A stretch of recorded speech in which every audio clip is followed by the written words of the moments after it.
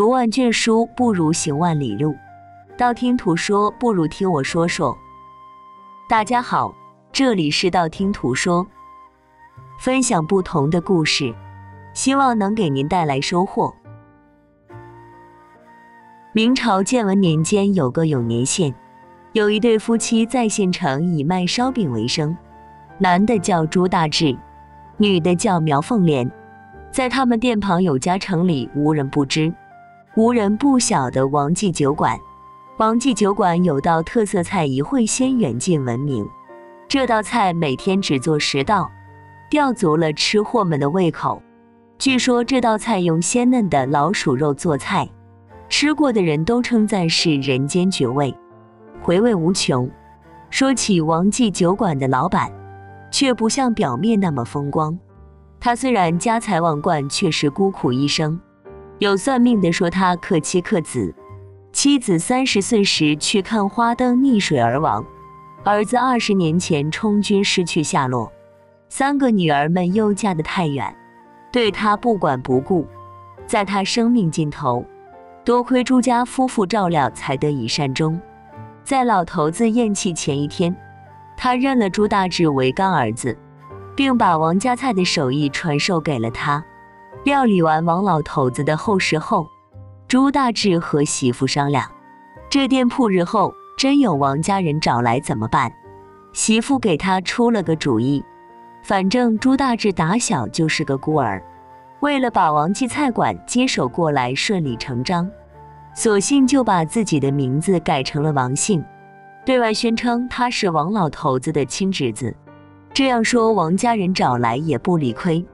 王大志很会做生意，他接管酒楼后，先将原来的菜价调成了平民价格，扩大了客流量，又开始招商融资，准备在县城开第二家店。十里路外的钱庄老板左大贵慕名找王大志合作，因为他俩志趣相投，又能互相扶持。左大贵成了王家菜馆的第二大股东，除了菜谱他不知道，店铺的运营情况他基本了然于心。他与王大志把生意做大后，经常在一起花天酒地。一日，王大志三杯酒水下肚，左大贵凑近说：“王兄，嫂子最近可有喜呀？”王大志愤愤地说：“别提了，你这嫂子肚子是一点动静也没有。”左大贵又压低嗓门问道：“上次李掌柜开的那个药方，嫂子吃了没？”王大志不假思索地说：“吃了，吃了，还招你嫂子埋怨了。他说自己没病，还怨我是没把的葫芦抓不住。”左大贵一听，打趣地说道：“再好的种子遇到旱地也没辙。王兄，你这庭院几时落？”就没考虑那个妾室吗？这句话戳中了王大志隐秘的心思，脸疼的红了。他小声回道：“兄弟，休说这样的话，让你嫂子听到不高兴了。”左大贵知道王大志是个耙耳朵，但没想到他惧怕妻子到如此地步。他劝王大志在家要硬气一点，惯坏了女人，在家里就没有地位了。其实王大志有钱后，早就有了纳妾的想法，只是苗翠莲贤德本分，陪他白手起家，任劳任怨。婚后，除了没有生育儿女，实在找不到合适的理由纳妾。听左老板这么一怂恿，他的良心瓦解，纳妾的小心思再也按捺不住了。他赶忙向妻妾成群的左大贵讨要个无双的计策。谁知被左大贵狠狠奚落了一番。自古以来，女子从夫无后为大。他多年来未为你生下一儿半女，就是他最大的错。换作是我，早就把他休了。被这话一激，王大志也想起自己多年膝下无子，很没面子，在外人眼里恐怕他是个中看不中用的废人了。于是他鼓起勇气回家。向媳妇说了自己的意愿，没想到苗翠莲哭哭啼啼一番后，竟然允许了。他对王大志说：“纳妾可以，但是不准沉迷男欢女爱，忘了正经营生。王大治娶的二夫人崔小蝶是左大贵介绍的。这个崔小蝶原本是桥东头李木匠的三女儿，后来被父亲卖进青楼换钱。但是这个姑娘心气很高，只想攀附权贵，不想流落风尘。左大贵看到这个小女子善歌舞，又懂琴艺，所以就买到自己店里做事了。这姑娘性子机灵，二八年华，明眸善睐，一张巧嘴，很会讨顾客欢心。王大志早就对她暗送秋波，知道左兄介绍的对象是他，心中也是窃喜。娶了娇妻后的王大志脱胎换骨一般，为了尽早抱上儿子，没日没夜与妾室进行鱼水之欢。苗翠莲将日渐颓靡的丈夫看在眼里，痛在心里。她宽慰自己，等到夫君有了孩子，就回心转意了。王大治大婚后。淡化了对店铺的管理，他与左大贵结拜为异姓兄弟，并把制作一会仙的秘诀传授给了他。兴许是觉得对不起妻子，王大志将老店铺交给妻子苗翠莲管理。一时间，两家店铺都被打理得红红火火。半年后，妻子和小妾接连怀孕，王大志觉得喜上加喜。走在路上，时常哈哈大笑起来。有位道士在人群中端详了他片刻，走到王大志跟前，脱口而出：“你印堂发黑，要倒大霉喽！”跟随的下人勃然大怒：“我家老爷有福气的很，你胡说八道什么？”王大治示意下人不必理会，丢下一锭碎银，潇洒离去了。次日。一行车夫吃了王记酒馆的饭菜后，便上呕下泻，嘴唇发紫。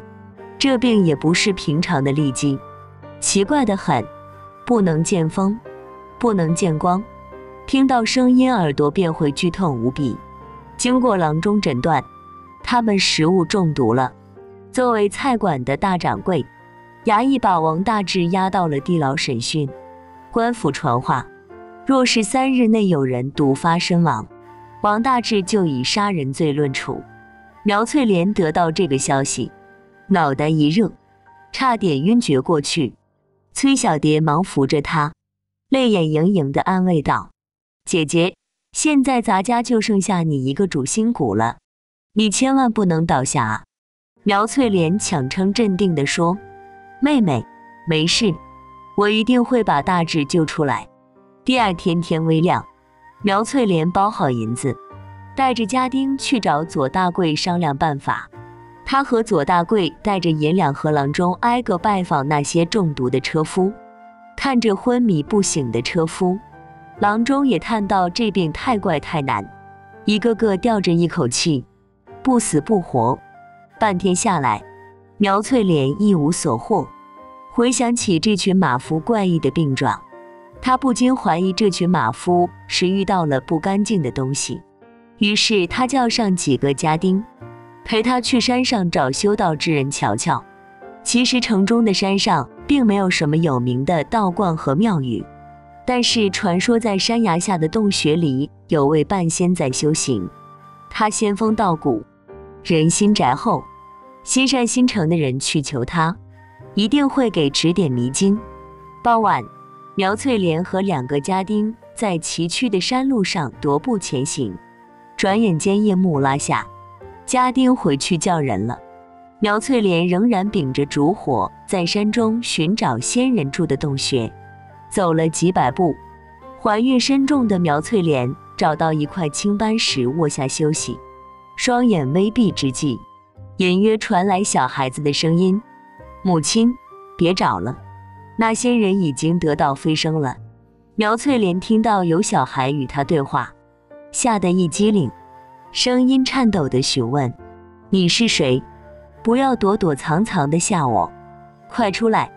这时，声音又响起：“母亲，我是你肚子里的孩儿，你不要害怕。你能帮我一个忙吗？”你望向你的左脚边。苗翠莲抬起脚，向左边一探。踩到了一个柔软的东西，他低头一探，是一只雪白色的狸猫。他轻摇了下狸猫的脑袋，又凑近一些，试探鼻息，竟没有一点回应。他猜想这只狸猫已经咽气了。他给狸猫翻了个身，发现身体早已僵硬。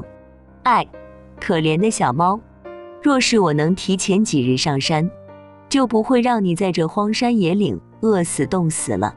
苗翠莲用怜惜的语气说道：“咱们也同是可怜人。”我那夫君要是活不成，我也会到地府陪他。到时不巧咱们就见面了。在这荒郊野岭，能有活物生存，想必也不是等闲之辈。想到这，他扶着腰，拖着笨重的身子，朝着狸猫的尸体磕了三个头。如果这里有神仙，就祈祷你下辈子托生到个好人家吧。苗翠莲抬起头。狸猫的身体突然泛出朱白色的光芒，他想这狸猫也是通灵性的，既然遇到就是有缘，他不忍看到他的尸体被鸟类蚕食，于是苗翠莲决定给找一个安全之地，把狸猫的尸体葬了。天大亮，王府的下人见苗凤莲还没有回来，便出门寻找，赶巧遇到衙役在街上张贴告示。上面画着王大治的人像，鲜红的沙字浮印在画像中间。衙役扯着嗓子通知路过的老百姓，有人发现苗翠莲，可有悬赏。下人们一听慌了，这下完了，王掌柜被砍头，苗翠莲再进去，这辛苦经营的家业恐怕要散了。从山上下来的苗翠莲，仿佛失了魂似的在街上游荡。跟下人见面后，得知丈夫明日将被砍头的消息，这下他的心彻底凉了。苗翠莲主动去了一趟衙门，因为有不在场的证据，她很快洗脱了嫌疑。官府看她也有几月身孕，就把她放了。深夜，有人叩响了王家门环，一个清瘦的白衣和尚不请自来，他对苗翠莲说。他能帮王家化解这个危机。苗翠莲含泪挤出一丝笑脸，他心中知道这件事情已无转机，但也让下人备好斋饭和茶点款待和尚。白衣和尚本就不想久留，他婉拒了苗翠莲的热情款待，并从衣袖里掏出一个刻着白字的药葫芦。夫人，你若信我，明日就将这药丸回到那几位中毒的客人。他们中的不是寻常的毒，而是用妖术炼化出来的蛊毒。吃完药再用黑狗血。和尚说道。苗翠莲无奈地说：“可是要救的人已经断气了。”和尚向前一步说道：“断气没超过一日，仍有生机。”苗翠莲看和尚言语恳切，领会了和尚的好意，但他身旁的崔小蝶却十分怀疑。他上下打量了和尚一番，没好气的回呛道：“大师真是医术高明啊，还没看到病人就把药方开了。若有这本事，怎么没在这县上听说过您的大名？”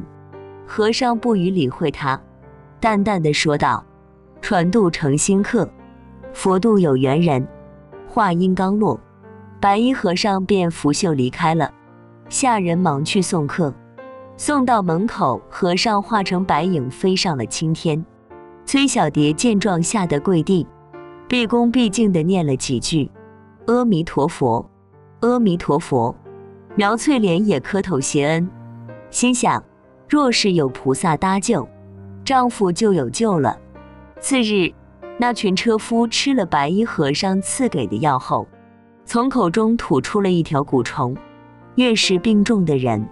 吐出来的蛊虫就越长，这种蛊虫只产于西域一带。王大志夫妇从未离开过京城，便洗脱了嫌疑。王大志被放出来后，城里的百姓都羡慕他娶了个好妻子。在府衙门口抬轿的下人们，把所有的事情都一五一十地告诉了他。王大志因为纳妾这事，对妻子一直心中有愧。经此一事。他也越发看重与结发妻子的情谊，苗翠莲看到丈夫回来，欣喜若狂，齐步相迎，却被小妾崔小蝶一把拦下了。她谄媚地笑道：“老爷这一趟牢狱之灾过去了，快拿黑狗血来，轻轻邪气。”王大治被崔小蝶吓了一跳，他下意识胳膊一挡，黑狗血全部泼向了苗翠莲身上。只见苗翠莲的颅顶冒出了一团黄烟。待黄烟消散之时，苗翠莲晕了过去。王大志赶紧找郎中给苗翠莲看病，在扎了太溪、银泉两穴，放出几滴血以后，苗翠莲缓缓张开了眼。郎中向王大志拱了拱手，说道：“王老板祝贺你啊！瞧这脉象，你家夫人怀了双生子啊！”王大志很是高兴。当即唤来好兄弟左大贵分享喜讯，他命下人们准备家宴。家宴前半个钟头，左大贵就从后门来了。崔小蝶拉着他匆匆进了偏房。没过一会儿，左大贵扶着腰走出来，在赶往堂屋时，王大志与他迎面撞上，疑惑地问道：“左兄这是怎么了？”左大贵故作镇定地说道。前几日我跑到山上找卓华道长，为你求了一道符，不小心从山坡摔落，伤到了腰。王大志听后感动不已，亲自把左大贵扶进了堂屋，并嘱托这些事交给下人去做即可。左大贵很委屈地说道：“这个道长是个怪脾气，你要有求于他，必须亲自拜访才行。”王大志也是第一次听说有这么个人，急切地问道：“当真有这么灵吗？别在背后嘀咕他，他会知道的。”左大贵嘱咐道。这件事自此在王大志心里埋下了一颗种子，他心想得空一定要去见拜见这个高人。六个月后，苗翠莲和崔小蝶都到了临产期，因为苗翠莲是高龄产妇。又加上怀着双生子，王大志总是提着心。店里生意不忙的时候，他就翻看着医书，研究着各种安胎的药膳。一日，王大志在给苗翠莲喂药膳时，苗翠莲突然腹部剧痛，口吐黄水。王大志请来郎中给苗翠莲诊治，郎中说苗翠莲大限将至，假如分娩。恐怕要一尸三命。王大治听完这话，又悲又愤，把郎中轰走了。王大治按着医书记载，对苗翠莲一番诊治后，确实发现她脉象凌乱，气息微弱，情况很不乐观。崔小蝶在一旁提醒王大治别忘了卓华道长。王大治突然想起来这号人物，立马前往蜀驼岭去寻找这位高手。当王大治离家之后，崔小蝶表面对苗翠莲关怀备至，其实心里打的是另一套主意。左大贵听闻王家的事情，也抓了几副药，特意来看望。他看到苗翠莲油尽灯枯的样子，就故意提高嗓门说：“嫂子，你真是福大命大。卓华道长调制的丹药到了，快快服下吧。”许久之后。苗翠花张开双眼，看到左大贵手中的药，疑惑地询问：“这样何时取来的？”此时，左大贵故作悲痛地说道：“这是我那好兄弟，你的好丈夫王大志用命换来的。”苗翠莲着急地问道：“大志怎么了？”崔小蝶倚着床柱，忽然泪水盈盈地看着苗翠莲说道：“大志在道观为你求福。”让下人带药先走，不料他抄小路回家时被强盗杀害了。左大贵见苗翠莲眼眶红了，眼珠子一转，说道：“嫂子，快把药吃了吧，这可是王兄用命换来的。如果你能为他生下一儿半女，他在地下也能宽慰了。”苗翠莲突闻噩耗，没了求生的意志，她一边无力的抽泣。一边剧烈的咳嗽起来，身旁的崔小蝶连忙倒了一杯药水递给他。正在苗翠莲喝药之时，因为下人连滚带爬的闯进了房门，喊道：“老爷回来了，老爷回来了！”左大贵和崔小蝶面面相觑，一脸惶恐又震惊。当完整无缺的王大志向他们走来时，左大贵脸色一白，脸部肌肉不自觉扭到了一起。一个被自己亲自砍下脑袋的人，竟然复活了。崔小蝶神色倒是转变得很快，抹着眼泪往王大治扑去，但是被王大治一脚踹开了。王大治疾言厉色地说道：“是不是很纳闷我究竟是人是鬼？今天我拖着一口气来和你们这对奸夫淫妇做个了断。”崔小蝶假装哭得梨花带雨，左大贵倒是镇定自若。他冷笑一声，拍拍手，在打扫院落的几个奴才立马把门关上了。他朝院内喊道：“来人，把他给我绑了！”四个三白眼的奴才走了过来，说道：“老爷得罪了，三下五除二。”王大治被绑在了床柱上，故意让他挨着奄奄一息的苗翠莲。崔小蝶此刻也不伪装了，投进左大贵的怀里尽显暧昧。左大贵用眼神示意下人们退下。左大贵给王大志松绑，从怀里掏出一颗药丸。让王大志给苗翠莲服下。王大志没有动作，被左大贵一脚踹倒。这个时候，崔小蝶递给左大贵一把尖刀，阴狠地说道：“何不一起解决了他们？”左大贵叹了一口气说：“今日是我门派的消功日，不能见血。这样吧，你帮我解决他们。”崔小蝶像只被操控的傀儡。一脸木然地接过了刀子，见崔小蝶逐渐靠近，王大志默念咒语，咒语生效，定住了他。左大贵一脸愕然地望向王大志：“你到底是谁？”王大志说道：“鼠妖，冤冤相报何时了啊？当日我破了你的蛊毒，伤了你的脊骨，你为何还不吸取教训，放下仇恨呢？”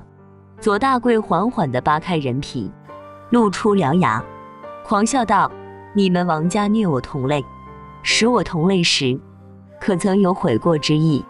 我只是以眼还眼，以牙还牙罢了。”王大志说道：“冤有头，债有主，我的命我还你，可是我的妻儿是无辜的，你为什么不放过他们？”左大贵冷笑了一下，咬牙切齿地说。我的痛苦，就要让你们百倍千倍偿还才过瘾。话毕，左大贵发功，一直被他用妖术操控的崔小蝶清醒了过来。他害怕的又喊又叫，左大贵一掌把他击飞了。既然你执迷不悟，就留不得你这个祸害了。雷电交加之时，两个修行者以气化身，变成了原体缠斗。雷声骤。雨声急，一只雪白的猫用锋利的爪子划破了鼠妖的胸膛。打斗愈演愈烈之时，苗翠莲在屋里撕心裂肺地惨叫起来，恐怕是要提前分娩了。白猫收手，飞速回到苗凤莲身边，吐出内丹：“恩人，你快张口服下，你现在还不足月，生下孩子必死无疑。”有了内丹的助力，苗翠莲的肚子慢慢恢复了平静，但是白猫却痛苦万分。它躺在地上挣扎，从有形变成无形，在魂魄飘零欲碎之时，又重生了。看来猫有九条命是真的。王家的下人听到声音，纷纷来到窗前张望。他们看到钱大贵倒在地上。且是一具鼠头人身的尸体后，惊恐着跑开了。恢复成人形的白猫，短暂休憩后，化成了白衣和尚的模样。他告诉了苗翠莲事情的真相：王大志因为杀戮了太多鼠类，用生命换取钱财，本该早死。但是苗翠莲心善，感动了白猫，才让他出山来解决这一桩恩怨。其实他本可以不用下山的，只因在苗翠莲身上的保护符被黑狗血破掉了，所以她才要亲自动手。不过苗翠莲的丈夫终究是死了，表面死于鼠妖的暗算，其实死于业障和因果。苗翠莲听后悲痛万分，但是心里也明白因果不空的道理。她听从白猫的劝告，从此积德行善。她停掉了店铺的生意，也不记恨鼠类，在县城开了一家斋饭馆来营生。在他分娩之时，又有郎中预言他将难产而死，但是他却福大命大活了下来。有道士用周易之术推算后，叹道：“夫人有高人在给你续命啊！”好了，今天的故事就到这里了。看完这个故事后，不知道您有什么感想？欢迎在下方留言。不要忘了点赞和订阅，希望能给您带来收获。感谢您的观看，我们下期节目再见。